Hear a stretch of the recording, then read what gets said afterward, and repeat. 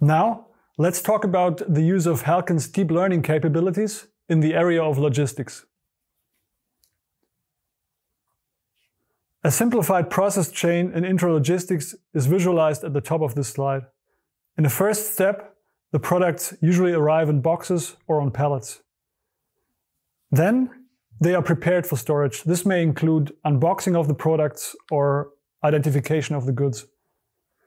Next, the products are stored. Then they are retrieved, which means they are identified, located, so they are ready to be packed. Then the goods are commissioned, which means they are basically packed and boxed. And then they are delivered. For now, let's focus on the storage step, where we need to identify empty shelf slots and determine their dimensions. This is where deep learning comes in. In a real-world application, which I'm about to show you, deep learning was used to solve this problem. A mobile robot was equipped with a camera, taking images while passing by the shelf. The initial solution with a traditional approach used multiple 3D sensors to scan the content of the shelf.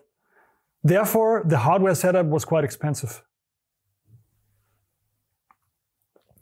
Using deep learning, however, it was possible to use 2D images only.